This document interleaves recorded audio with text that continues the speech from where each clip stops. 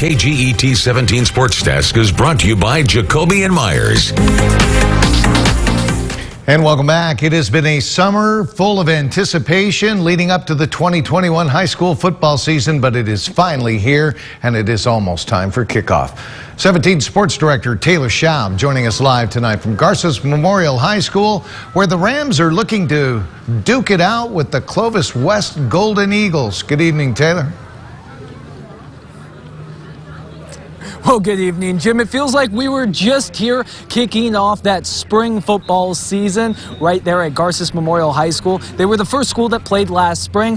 Now they are one of the first schools playing this fall, and it is a regular season with playoffs as expected. There was a little bit of complications today. Some teams pushing back their start times due to poor air quality, a couple of COVID cancellations. But the Garces Rams are playing as scheduled. And joining me is Rams head coach Paul Golla. Now, Coach Golla, You've been doing this a long time, but this has got to feel really great to be back after everything your team has been through. Oh, man, so exciting. These kids have worked so hard. These parents have sacrificed. So being able to play tonight, back at it, having a, a not, not, a, not a long preseason, but at least we had a preseason is exciting.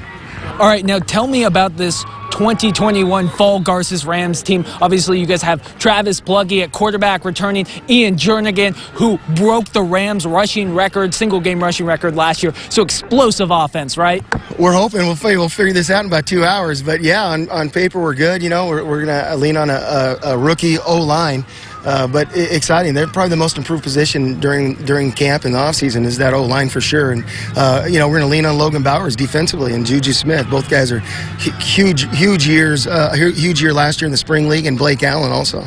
All right, just talk to me a little bit about what's it like for these guys. Obviously, you're not just their coach, you're a mentor. And a lot of them struggled this past year sitting at home. You come back for that spring season. It was so complicated, so tough for so many kids.